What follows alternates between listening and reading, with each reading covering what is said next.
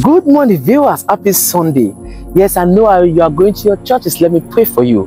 Viewers, are you meditating as you go to church? Begin to meditate on God's word. There is healing in God's word. There is deliverance in God's word. There is prosperity in God's word. Begin to meditate. Holy Spirit, take more of me and give me more of you.